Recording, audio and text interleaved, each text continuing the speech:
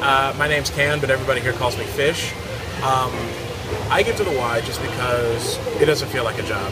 When you're teaching, on the other hand, you get enriched by the kids. You get, you know, little ideas from them. You see them improve. You see them move up. You see them advance, and it's something much more than any other job that I've ever had, or I think ever will have, will try to give me. So what little I give, other than you know getting this awesome shirt, I get a lot more out of it.